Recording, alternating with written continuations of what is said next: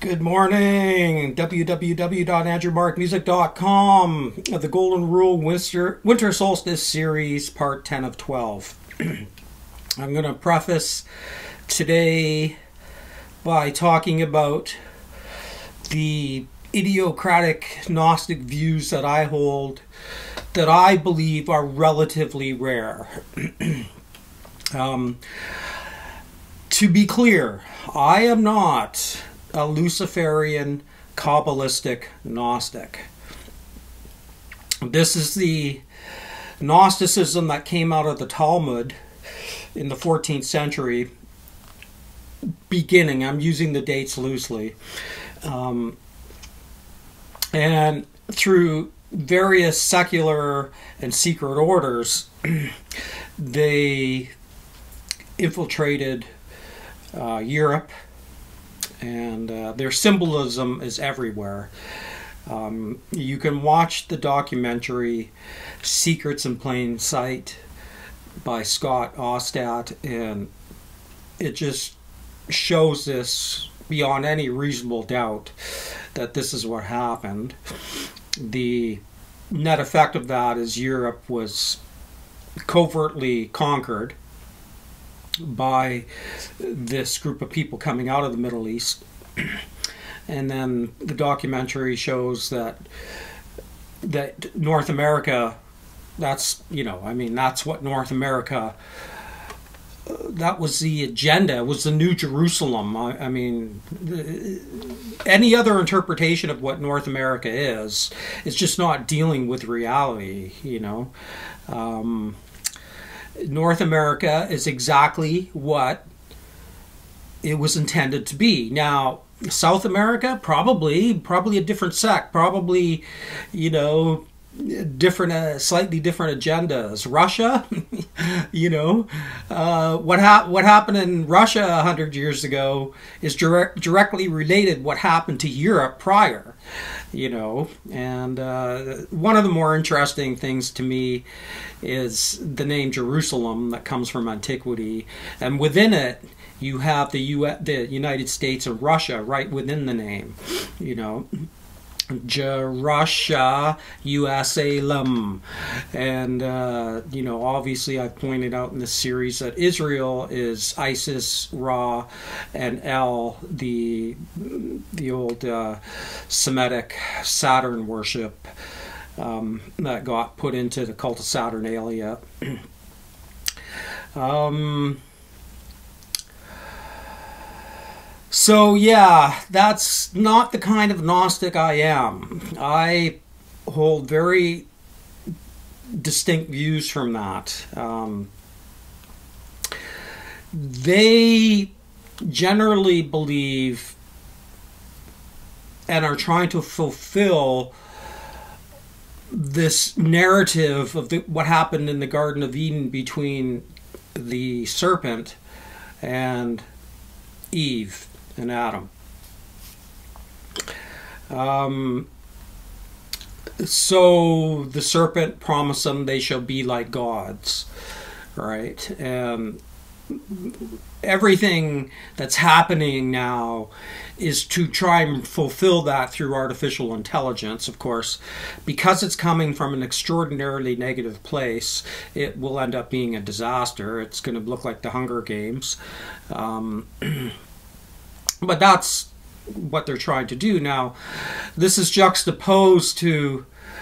Uh, another trope of the archons, which is the Messiah, the political Messiah, who's going to rule the earth with his chosen master race. Um, and so you have the whole of modern history are, are these two streams of, of um, uh, thought being acted out in real time.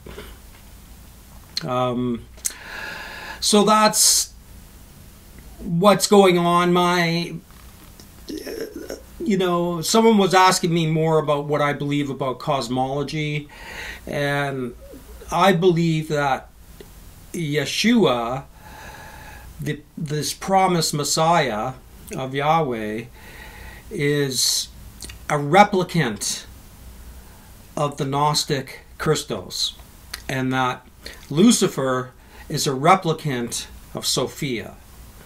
Uh, Sophia and Christos are the aeons that ex- pre existed this uh, matrix. So, what we're dealing with is the machinations of the demiurge and the archons who view us as pets you know? If i can put it nicely. It's a it's it's an interesting uh, it's an interesting business model. Um, okay. The golden rule winter solstice 10 of 12 and this is interesting because this is another view on it. Um, this preface lines up quite nicely with this because this is going to talk about whether this phenomenon is actually extraterrestrial. Now, that's something I don't believe, but I do consider it. Um, tis the tis the time in this series to talk about ET. Well, yes, it does seem like modernity's preferred explanation for everything strange and unknown. Uh, I've personally never seen a UFO, and I've wandered the boonies all night long for near seven years back when I was young. Nada. And I saw many incredible things in the night sky, but everything I saw was natural. I've never seen ET either. I have I have had many spiritual experiences though but I've been able to distance myself from them and try and analyze them from a non biased, objective position as much as this is possible for anybody. But I believe I've done that.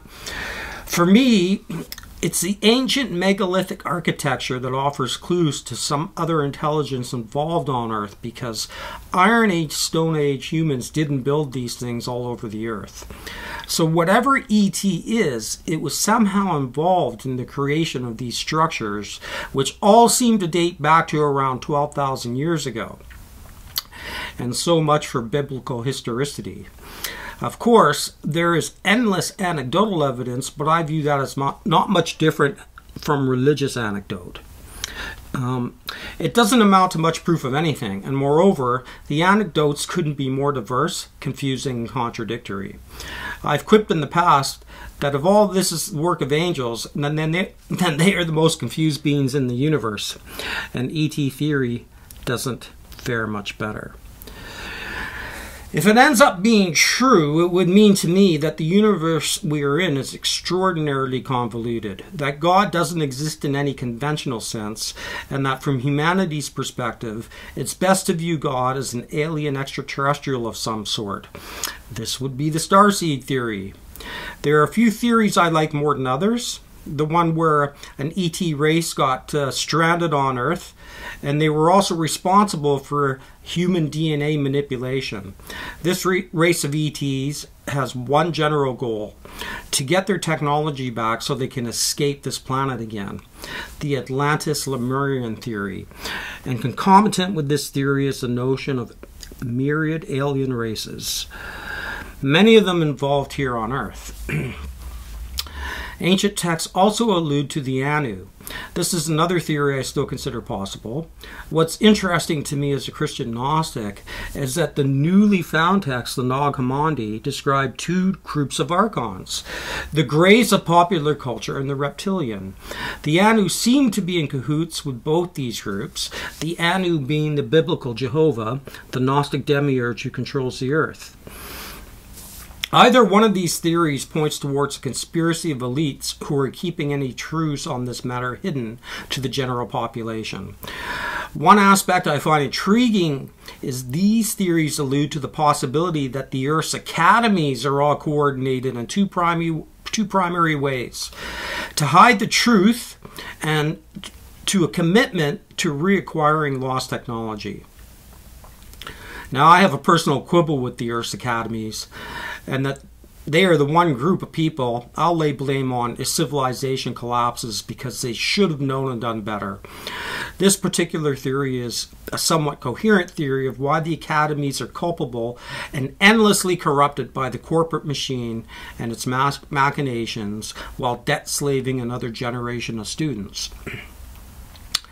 Um, I'll touch on Buddhism and offer what I consider golden rule econ- economics as a solution to civilization's woes as uh, I wrap up this series of 12 posts. Uh, so there you have it. That's uh, part 10 of the series.